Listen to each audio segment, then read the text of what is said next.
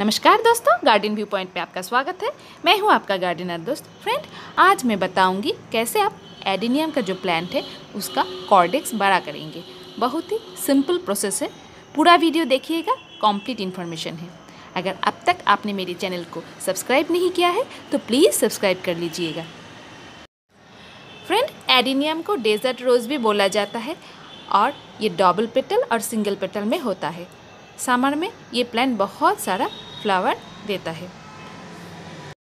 Winter season desert रोज़ या adenium का dormancy period होता है।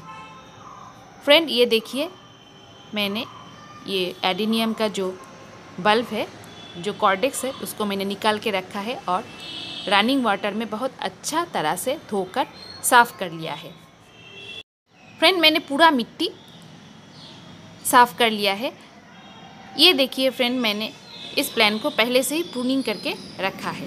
प्रूनिंग करने के बाद मैंने इसका जो रूट है, वो अच्छा तरह से धोकर साफ़ कर लिया है। आप क्या करना है? इस प्लान को आप एक रस्सी से इसको आप टांग दीजिए। फ्रेंड किसी शेड एरिया में इस प्लान को 10 से 15 दिन के लिए आप टांग दीजिए।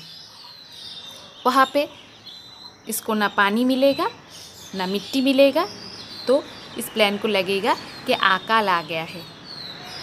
जब आप इस प्लान को रीपॉट करेंगे तो ये प्लान क्या करेगा? इसका जो कॉर्डेक्स है, उसमें बहुत सारा खाना वो जमा करके रखेगा। तभी इस प्लान का कॉर्डेक्स इजी प्रोसेस से बड़ा होगा। कोई भी ज़्यादा फर्टिलाइज़र देने का ज़रूरत नहीं है।